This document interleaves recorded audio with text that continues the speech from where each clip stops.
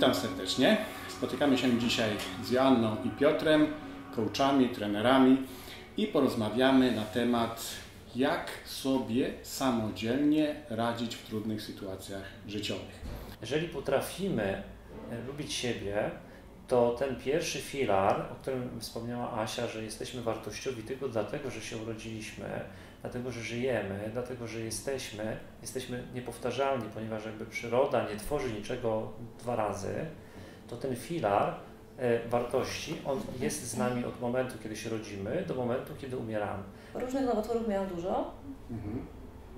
Nie chodziłam przez jakieś pół roku, miałam dramatyczną sytuację z kręgosłupem też, nie wiadomo dlaczego, chociaż lekarze nie wiedzieli i ja do tego doszłam, że to też ma związek z poczuciem wartości E, i tak naprawdę nie korzystałam nawet ze służby zdrowia w tym momencie. Pracowałam ze sobą, pracowałam bardziej z osobami, gdzie, które e, no właśnie, pracują e, z emocjami w taki sposób, żeby, czy z przekonaniami. Tak, ja też dzisiaj zauważam, że w momencie, kiedy zmieniamy przekonania z klientką czy z klientem, to często sy- symptomy chorób znikają. Następny cud, nie? Tak. Przeszłam tą drogę, więc wiem, że, że tak jest, że wszystko jest w naszej głowie, tam się zaczyna. W badaniach jest wykazane, że najlepszym sposobem na wychodzenie z depresji jest umiejętność stawiania sobie drobnych celów, szczególnie na początku, i ich osiągania. Czyli jeżeli potrafimy wyznaczyć sobie cel, osiągamy, choć czasami mogą być to e, prozaiczne rzeczy.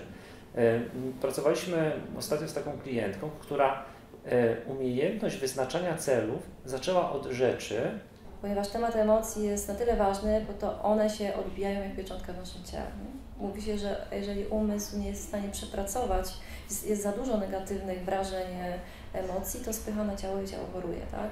Mhm. Więc zwracamy tutaj uwagę zawsze na to, w jaki sposób ludzie myślą. e, I najczęściej ludzie wiedzą skąd się to wzięło. Wiedzą, że, e, bo mama na przykład zachowywała się w taki sposób, tata zachowywał się w taki sposób, a kuzynka albo e, wujek powiedzieli to i to. I teraz powstaje pytanie, bo oni już wiedzą, tylko ważny jest element, żeby w tych przekonaniach, skoro wiedzą skąd to się wzięło, ważny jest element zrozumienia tego, jaki wpływ dzisiaj mają te przekonania z przeszłości.